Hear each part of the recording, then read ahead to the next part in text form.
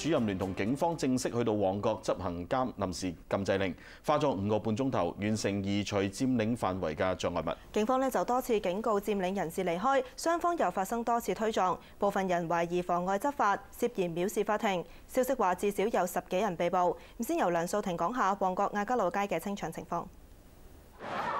清除障礙物嘅行動持續到晏晝，由於集會人士唔願意離開，警方作出最後嘅警告。你哋必須立即停止阻礙同埋干擾執達主任同埋協助執達主任嘅人員，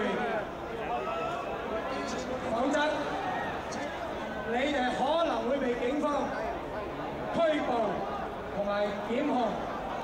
警方要求集會人士向砵蘭街方向後退。警方向前推進，雙方推撞。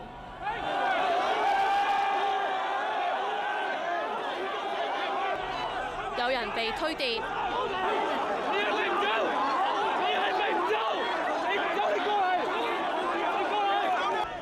警員不斷驅趕仍然企喺馬路上面嘅人，又叫採訪嘅記者離開。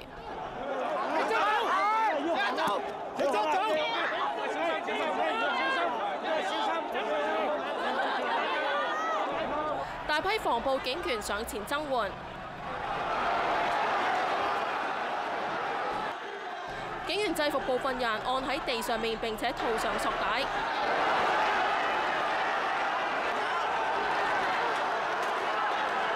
再帶上警車，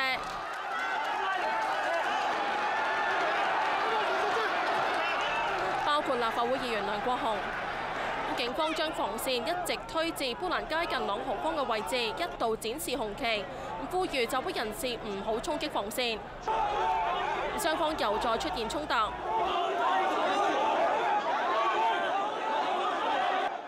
有藥房要落閘。當警方嘅防線呢係推到嚟亞加老街同砵蘭街交界嘅時候啦，好多行人呢係逼晒上呢個位置啊！咁而旁邊嘅鋪頭啦都落晒閘，唔做生意住。咁到晏晝三點半，警方完成清理障礙物嘅行動，介乎彌敦道同砵蘭街之間嘅亞皆老街部分嘅行車線重開，咁車輛可以駛往大角咀嘅方向。成個清場行動喺上晝大約十點開始，執達主任宣讀禁制令之後，咁大約二十個身穿工作服嘅工人開始清除佔領人士設置嘅路障，剪斷索帶、搬走卡板、遮同帳篷支架等。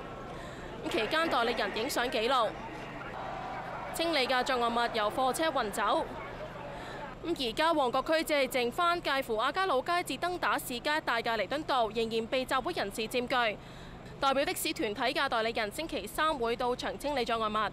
亞洲電視記者梁素婷報道。野朗豪坊門外並唔係今次臨時禁制令覆蓋範圍，有大批佔領人士同警方對峙，警方將人潮由砵蘭街推向油麻地方向，但人潮唔肯向後退，警方多次舉起紅旗警告，唔可以再衝擊警方防線，並且手持胡椒噴霧戒備。有警員就不斷喺現場廣播，話佔領人士參與非法集結活動，呼籲佢哋馬上離開，否則唔排除將佢哋驅散或者拘捕。